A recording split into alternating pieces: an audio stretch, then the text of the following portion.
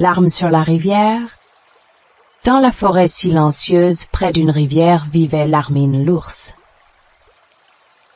Chaque jour, Larmine regardait l'eau s'écouler.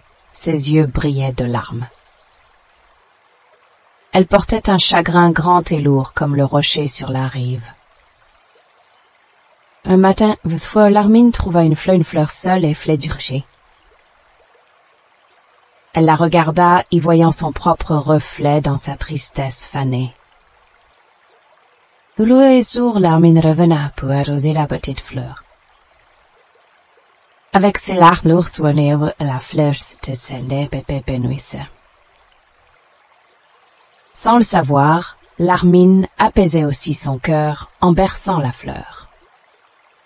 Un lièvre curieux, perce-oreille, vint voir Larmine un après-midi. Il la vit sourire pour la première fois, caressant délicatement la fleur.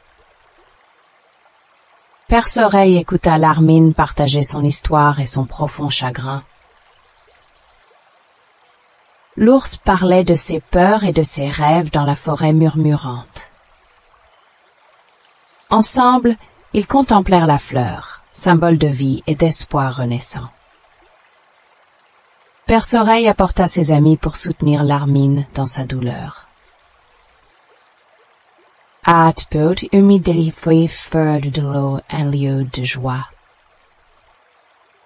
Larmine sentait son chagrin fondre comme la brume au matin lumineux. Elle réalisa que partager son fardeau l'avait rendue plus légère et forte.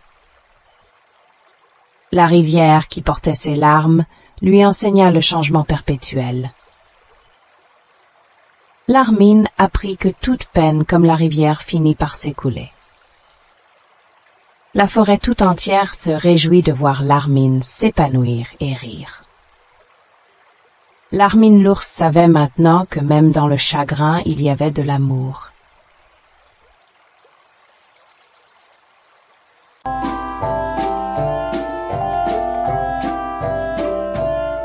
Téléchargez maintenant et découvrez de nouvelles histoires chaque jour.